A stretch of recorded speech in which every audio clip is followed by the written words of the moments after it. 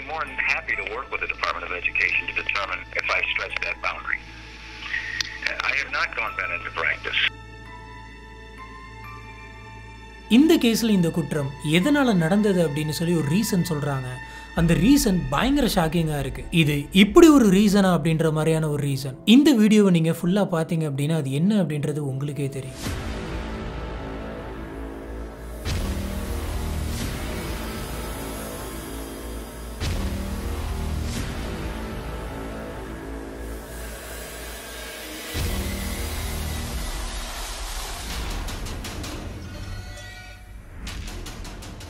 New York சிட்டியில் Anthony அப்படின்ற ஒருத்தர் இருக்காரு. இவருடைய அப்பா அம்மா ரெண்டு பேருமே டாக்டர்ஸ் இதனால இவருக்கு சின்ன வயசுல இருந்து ஒரு பெரிய டாக்டர் ஆகணும் அப்படின்னு ஆசை. ரொம்ப கஷ்டப்பட்டு சின்ன வயசுல இருந்து இதுக்காக இவர் படிக்கிறாரு. நல்ல மார்க்ஸும் வாங்கியிருக்காரு. ஒரு நல்ல யூனிவர்சிட்டியில மெடிக்கல் படிக்கணும் அப்படின்னு சொல்லி மெடிக்கல் சீட்டு கிடைக்குமா அப்படின்னு பல இடங்கள்ல போயிட்டு இவர் தேடி இருக்காரு. இப்படி இருக்கிறப்ப தான் பெண்ணின்சுலால லீஹை அப்படின்ற யூனிவர்சிட்டியில ஒரு சீட்டு இருக்கு அப்படின்னு தெரிய வருது. ஆனா இவர் போறதுக்குள்ள அந்த ஒரு சீட்டும் ஏற்கனவே புக் ஆயிருது. இதனால ரொம்பவே மனசு உடைஞ்சு போன இவர் பல யூனிவர்சிட்டியில தேடி கடைசியாக சான் யூனிவர்சிட்டியில் இவருக்கு ஒரு சீட்டு கிடைச்சிருக்கு. இப்படி இவர் அந்த காலேஜ்ல படிச்சிட்டு இருந்த அந்த சமயம் தான் இருபத்தோரு வயசான டிபோரா அப்படின்ற ஒரு பொண்ணை இவர் பாக்குறாரு ரெண்டு பேருமே பேசிக்கிறாங்க ரெண்டு பேருக்குமே ஒருத்தர் ஒருத்தர் பிடிச்சி போகுது இவங்க ஃப்ரெண்ட்ஸ் ஆகுறாங்க.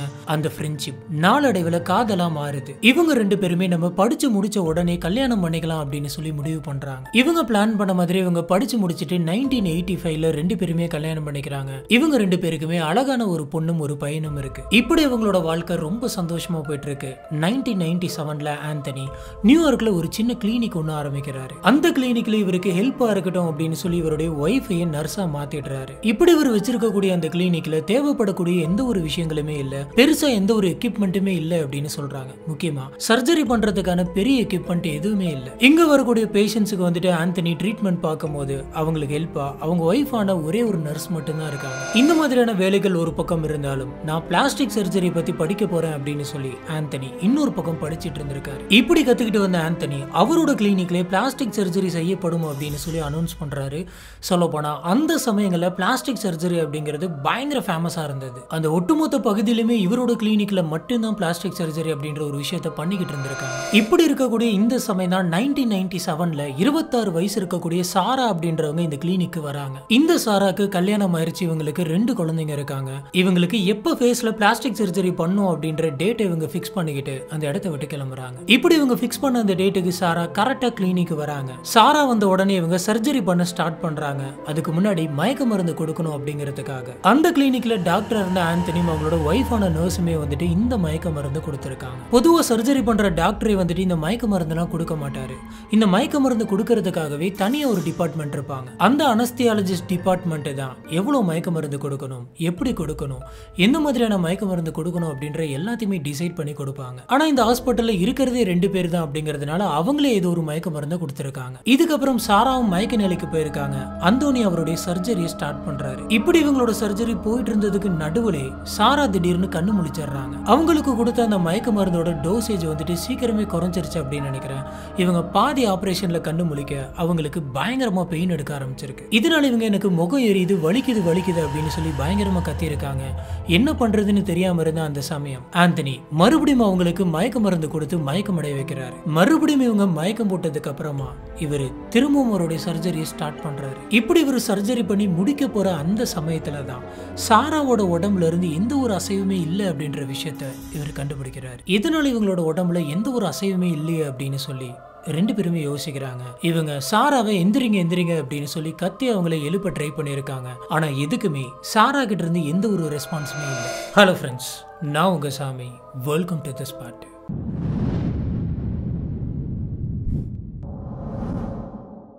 இதுக்கப்புறம் தான் இவங்களுக்கு ஒரு விஷயம் தெரிய வந்திருக்கு. சாரா. இறந்து போயிட்டாங்க அப்படின்னு. பொதுவாக ஒருத்தங்களுக்கு ஆப்ரேஷன் பண்ணுறப்ப அவங்களோட பல்ஸ் லெவல் எப்படி இருக்குது பிபி எப்படி இருக்குது அப்படின்னு சொல்லி எல்லாத்தையுமே மானிட்டர் பண்ணுவாங்க. ஆனால் இவங்களோட கிளினிக்கில் போதிய வசதி இல்லாததுனால இந்த மாதிரியான எக்யூப்மெண்ட்ஸ் எல்லாம் இல்லாததுனால இது எதையுமே இவங்க பண்ணல. எந்த ஒரு ட்ரீட்மெண்ட்டுமே இல்லாததுனால சாரா அதே இடத்துல அநியாயமாக இறந்து போகிறாங்க இப்படி சாரா இறந்து போன இந்த விஷயத்தில் ஆந்தனியோட அவங்க ஒய்ஃப் வந்துட்டு ரொம்பவே பயந்து போகிறாங்க ஆனால் ஆந்தனி ரொம்ப கூலா இந்த மாதிரியான ஆப்ரேஷன் நடக்கும் போது இறந்து போகிறது அப்படிங்கிறது ரொம்ப சாதாரணமான விஷயம் தான் இங்கே நடக்கிற எந்த ஒரு ஆப்ரேஷனுமே சக்சஸ்ஃபுல்லா முடியறது கிடையாது அப்படின்னு சொல்லியிருக்காரு. ஆனால் இந்த விஷயம் போலீஸ் ஆஃபீஸர்ஸ்க்கு தெரிய வருது. உடனே போலீஸ் ஆஃபீஸர்ஸ் இந்த ஆந்தனி பற்றி விசாரிக்க ஆரம்பிக்கிறாங்க. இப்படி விசாரிச்சதுல பயங்கரமான ஷாக்கிங்கான சில விஷயங்கள்லாம் தெரிய வந்தது. அது என்னன்னா இவர் பிளாஸ்டிக் சர்ஜரிக்காக படிக்கவே இல்லை. இவர் ஒரு என்ட் ஸ்பெஷலிஸ்ட் ஒரு என்ட் டாக்டர் எப்படி பிளாஸ்டிக் சர்ஜரி பண்ண முடியும்? இதுக்கப்புறமா ஆந்தனியோட கிளினிக்கு எந்த ஒரு முறையான லைசன்ஸும் இல்ல. போதிய அளவுக்கான எக்யூப்மெண்ட்ஸ் எதுவுமே இல்லை அப்படிங்கறதுனால அந்த கிளினிக்கை மூடணும் அப்படின்னு சொல்லிடுறாங்க. அது மட்டும் இல்லாம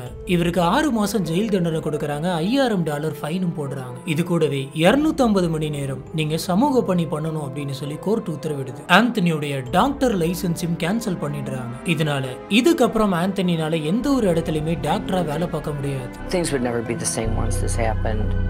So technically, it did not make him an ear, nose, and throat doctor. Anthony இப்படி ஆறு மாசம் ஜெயில் தண்டனை எல்லாத்தையுமே அனுபவிச்சுட்டு வெளியில வர்றப்ப அவர்கிட்ட எந்த ஒரு காசுமே இல்லை. இவரால மறுபடியும் கிளினிக்கும் வைக்க முடியாது அப்படிங்கறதுனால சுத்தமாவே காசெல்லாம் போயிருது. ஃபேமிலி எப்படி ரன் பண்றது அப்படின்னே தெரியல. இதனால ஆந்தனியோட ஒய்ஃப் ஆந்தனி கிட்ட வந்து சுத்தமா காசு இல்ல இப்படி இருக்கிறப்ப எப்படி குடும்பம் நடத்துறது குழந்தைங்களை பாத்துக்கிறது அப்படின்னு சொல்லி சண்டை போடுறாங்க. இந்த சண்டையில இவங்க இதுக்கு மேல இங்க இருக்க முடியாது அப்படின்னு சொல்லி அவங்களுடைய அம்மா வீட்டுக்கு கிளம்பி போறாங்க. இதனால ஆந்தனி இந்த மாதிரியான விஷயங்கள் எல்லாத்தையுமே நினைச்சு ரொம்ப ரொம்ப ஃபீல் பண்ணியிருக்காரு. இவருடைய அப்பா அம்மா ரெண்டு பேருமே டாக்டர்ஸ் நிறைய காசு வச்சிருக்காங்க. இவங்க ரெண்டு பேரும் இவரை பார்த்து நீ எங்களோட பையன். நீ சந்தோஷமா தான் இருக்கணும். எதுக்கு இப்படி சோகமா இருக்க? நீ ஒரு நல்ல வேலைக்கு போற வரைக்கும் நாங்க உங்களுக்கு காசு தரோம். நீ போய் உன்னோட ஒய்ஃபையும் குழந்தைங்களையும் கூட்டிட்டு வந்து சந்தோஷமா இரு அப்படின்னு சொல்றாங்க. உடனே ஆந்தனி டிபோராவுடைய அம்மா வீட்டுக்கு போயிட்டு டிபோராவையும் அவங்களோட குழந்தைகளையும் கூட்டிக்கிட்டு வீட்டுக்கு வராரு. இதுக்கப்புறம் இவங்களோட லைஃப் ரொம்பவே நார்மலா தான் போயிட்டு இருந்திருக்கு. ஆனா திடீர்னு ஆந்தனியோட ஒய்ஃபான டிபோராக்கு உடம்பு சரியில்லாம போகுது. இவங்களுக்கு அடிக்கடி மயக்கம் வந்திருக்கு பயங்கரமா வாமிட்டிங் பண்ணிட்டே இருந்திருக்காங்க. அடிக்கடி உடம்பும் சரியில்லாம போகுது.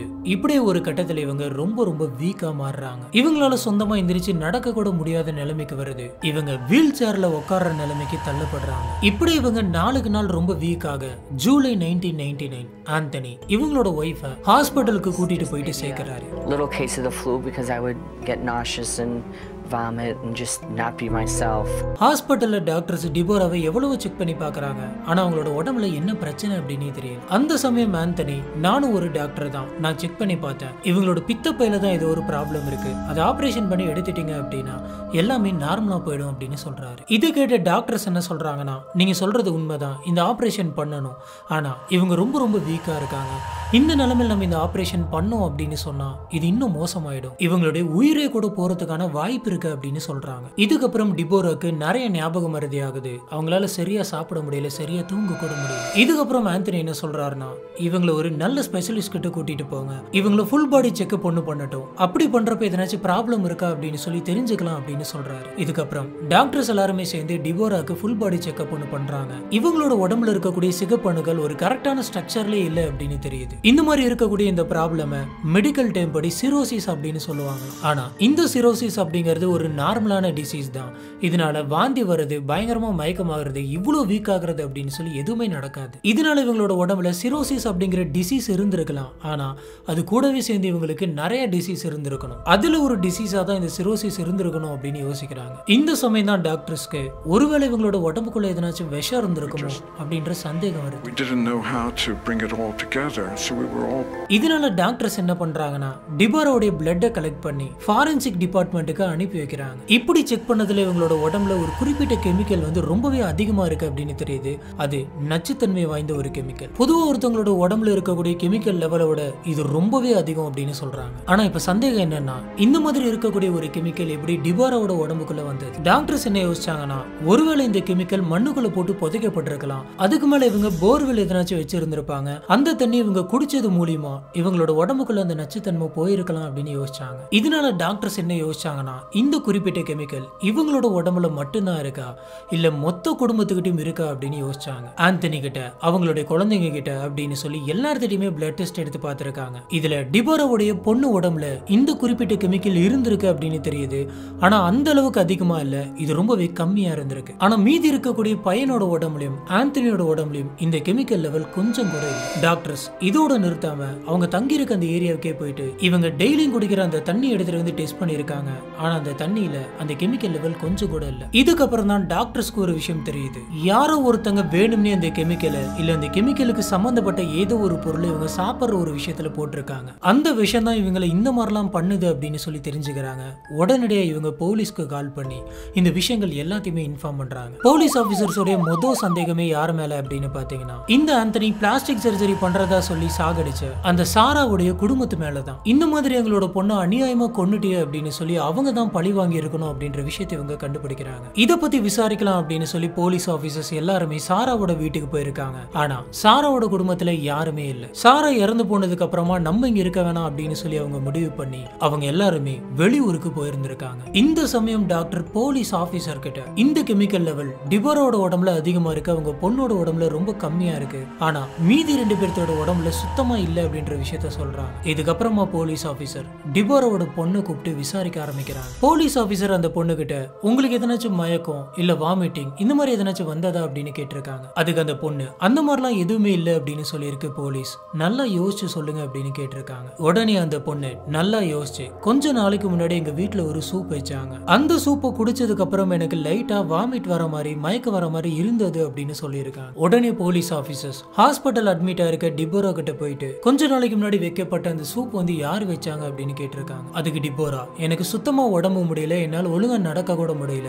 அதனால சமைக்கிற வேலை எதுவுமே நான் பார்க்கல. சமைக்கிற வேலை எல்லாமே அந்தோணி தான் பார்த்தாரு அப்படின்னு சொல்றாங்க. இது கேட்ட போலீஸ் ஆஃபீஸர் அந்த சூப்பை நீங்கள் எவ்வளோ குடிச்சிருக்கீங்க? அப்படின்னு கேட்டிருக்காங்க. அதுக்கு டிபோரா அன்னைக்கு அந்த சூப் உண்மையாலுமே ரொம்ப நல்லா இருந்தது. அப்படிங்கிறதுனால நான் ரொம்பவே நிறைய அந்த சூப்பை குடிச்சுக்கிட்டே இருந்தேன் அப்படின்னு சொல்லியிருக்காங்க. இதுக்கப்புறம் டிபோரோட பொண்ணு கிட்ட போயிட்டு நீங்க அந்த சூப்பை எவ்வளோ குடிச்சிங்க? அப்படின்னு கேட்டதுக்கு அந்த சூப்பு வந்துட்டு அம்மாவுக்காக மட்டும்தான் வச்சிருந்தாங்க. நான் அந்த சூப்பை குடிக்கல. ஆனா அந்த சூப்பை பார்க்கும்போது எனக்கு குடிக்கணும்னு தோணுச்சு. அதனால நான் அந்த சூப்பை ரொம்ப லைட்டா தான் குடிச்சேன் அப்படின்னு சொல்லியிருக்காங்க இதனால தான் இவங்களோட உடம்புல அந்த குறிப்பிட்ட கெமிக்கலோட லெவல் வந்துட்டு ரொம்பவே கம்மியா இருந்திருக்கு இந்த விஷயங்கள் எல்லாமே கேட்டதுக்கு அப்புறம் நம்ம எல்லாருக்குமே தெரிஞ்சிருக்கும் எல்லாத்தோட சந்தேகமும் அந்தோனி மேல திரும்புது I wouldn't do it to my children.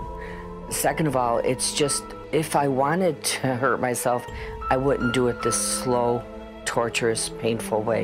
ஆனால் இவர் அரெஸ்ட் பண்ணோம் அப்படின்னு சொன்னால் ஒரு ப்ராப்பரான எவிடன்ஸ் வேணும். அந்த எவிடன்ஸை கலெக்ட் பண்ணாமல் போகணும் அப்படின்னு சொன்னால் கோர்ட் இந்த மாதிரியான விஷயங்களை ஒத்துக்காது அப்படிங்கிறதுக்காக போலீஸ் ஆஃபீஸர்ஸ் ஏதாச்சும் ஒரு எவிடன்ஸ் கிடைக்குமா அப்படின்னு சொல்லி தேட ஆரம்பிக்கிறாங்க. இவங்க இந்த சூப்பை எத்தனை நாளைக்கு முன்னாடி குடிச்சாங்க? இவங்களோட உடம்புல அந்த விஷயம் எவ்வளவு நாளாக இருக்கு அப்படின்றத கண்டுபிடிக்கிறதுக்கு இவங்களுடைய ஹேர் சாம்பிளே போதுமானது. இதனால இவங்களுடைய முடி எடுத்து அதை ஒவ்வொரு சென்டிமீட்டருக்கு ஒவ்வொன்றா கட் பண்ணி அதை லேபுக்கு கொண்டு போயிட்டு டெஸ்ட் பண்ணி பார்க்குறாங்க. இப்படி செக் பண்ணி பார்த்ததுல டிபோராவோட உடம்புல அந்த நச்சுத்தன்மை நைன்டீன் நைன்டி நைன் மேல இருந்து இருந்திருக்கு. இந்த மே ஜூன் ஜூலை டிபாரா அவங்களோட ஹஸ்பண்ட் வீட்டில் தான் இருந்திருக்காங்க. ஜான்வரியில இருந்து மே வரைக்கும் அவங்க அவங்களுடைய அம்மா வீட்டில் இருந்திருக்காங்க. இதை வச்சு பாக்குறப்ப இவங்க அவங்களோட அம்மா வீட்டில் இருந்த வரைக்கும் இந்த கெமிக்கல் அவங்களோட உடம்புல இல்ல. எப்ப இவங்களோட ஹஸ்பண்ட் வீட்டுக்கு வந்தாங்களோ அந்த மந்த்ல இருந்து தான் இந்த கெமிக்கல் இவங்களோட உடம்புல இருந்திருக்கு. அப்பையில இருந்து தான் இது அவங்கள கொஞ்சம் கொஞ்சமா கொண்டுகிட்டு இருந்திருக்கு. She received a large dose, which was approximately 80 times what a normal human being should have. இவங்களோட உடம்புல அந்த கெமிக்கல் அதிகமா இருக்குது அப்படின்றது மட்டும்தான் தெரிஞ்சிருக்கு. ஆனா எந்த பொருள் மூலியமா அந்த கெமிக்கல் இன்க்ரீஸ் ஆச்சு அப்படி என்ன இவங்களுக்கு சாப்பிட கொடுத்தாங்க அப்படின்னு தெரியல. இதை பத்தி கண்டுபிடிக்கிறதுக்காக போலீஸ் ஆஃபீஸர்ஸ் அந்தோனியோட வீட்டுக்கு போயிருக்காங்க. வீடு ஃபுல்லா சர்ச் பண்ணி பார்த்துருக்காங்க. ஆனா எவ்வளவு தேடியுமே அந்த வீட்டுல இவங்களுக்கு எந்த ஒரு எவிடன்ஸுமே கிடைக்கல. இந்த சமயம் போலீஸ் மறுபடியும் அவங்களோட பொண்ணை கூப்பிட்டு விசாரிக்க ஆரம்பிக்கிறாங்க. இப்படி விசாரிச்சப்ப இந்த வீட்டில் பாய்சனாக இருக்கக்கூடிய எதனாச்சும் பொருளை நீங்க பார்த்துருக்கீங்களா அப்படின்னு கேட்குறாங்க அதுக்கு அந்த பொண்ணு எங்க வீட்டுல நிறைய எறும்புங்கள்லாம் வரும். நிறைய பூச்சி தான் இருக்கு.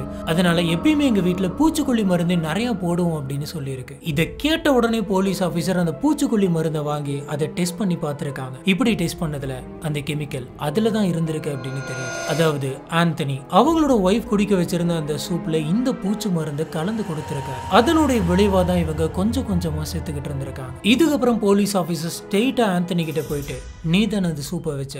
எதுக்காக நீ இந்த பூச்சி மருந்தை கலந்து கொடுத்த? அப்படின்னு கேக்குறாங்க. இதை கேட்ட ஆந்தனி என்ன சொல்றீங்க எனக்கு ஒண்ணுமே தெரியாது. எனக்கு என்னுடைய ஃபேமிலி தான் எல்லாமே. இப்படி இருக்கிறப்ப நான் எதுக்கு இந்த மாதிரி பண்ணணும்? எனக்கு எந்த ஒரு அவசியமே இல்லை அப்படின்னு சொல்றாரு. ஆனா போலீஸ் ஆபீசர் இது எல்லாத்தையுமே பண்ணது நீ தான். நாங்க எல்லா எவிடன்ஸுமே கலெக்ட் பண்ணிட்டோம். நீ எங்க கிட்ட இருந்து தப்பிக்கவே முடியாது அப்படின்னு சொல்லி இவங்க கலெக்ட் பண்ண அந்த எவிடன்ஸை பத்தி எல்லாம் அவர்கிட்ட சொல்லியிருக்காங்க. இதுக்கு என்ன காரணமா இருக்கும் அப்படின்னு சொல்லி போலீஸ் ஆபீசர் ஒரு பேக்ரவுண்ட் செக்கும் பண்ணியிருக்காங்க. இதுல அவங்களுக்கு ஒரு ஷாக்கிங்கான விஷயம் தெரிய வந்தது. அது என்ன அப்படின்னு பாத்தீங்கன்னா பிளாஸ்டிக் சர்ஜரி பண்ணி அது ஃபெயிலியர் ஆகி அது மூலியமா இவர் ஆறு மாசம் ஜெயில் போயிட்டு வெளியில வந்த இருந்தப்ப டிபோரா வந்து இவர்கிட்ட பிரச்சனை பண்ணி வீட்டை விட்டு அவங்க குழந்தைங்களை கூட்டிட்டு அவங்க அம்மா வீட்டுக்கு போயிட்டாங்க. இப்படி இவங்க பிரிஞ்சு போனதுக்கு அப்புறமா இவருக்கு புதுசா ஒரு அஃபேர் இருந்திருக்கு. அந்த பொண்ணை இந்த ஆந்தனி கல்யாணம் பண்ணிக்கணும் அப்படின்னு நினைச்சிருக்காரு. அதுக்கு தடையா இருக்கிறது டிபோரா மட்டும்தான். இதனால இவரே சூப் வச்சு அந்த சூப்ல பூச்சி மருந்தை கலந்து இவங்களை கொலை பண்ணணும் அப்படின்னு நினைச்சிருக்காரு. ஆனா இந்த ஆந்தனிக்கு ரொம்பவே நல்லா தெரியும். எந்த அளவுக்கு பூச்சி மருந்து கொடுக்கணும்? அப்படி கொடுத்தா அதோட சிம்டம்ஸ் என்னவா இருக்கும் அப்படின்னு சொல்லி. இவர் இது எல்லாத்துக்கும் பின்னாடி ரொம்ப மோசமான பயங்கரமான ஒரு ரீசன் வச்சிருந்திருக்காரு.